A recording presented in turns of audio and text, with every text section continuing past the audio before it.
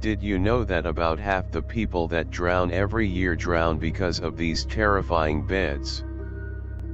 Right here, this bed is being opened from the mysterious hole located in the center of this mattress. After it has been opened the bed begins to get the water extracted from it. Most of the water has now been taken out there is just a few dozen more machines that this mattress must be taken through. This video isn't going to show many machines and unfortunately the original video has been taken down from the government so this is all we can show.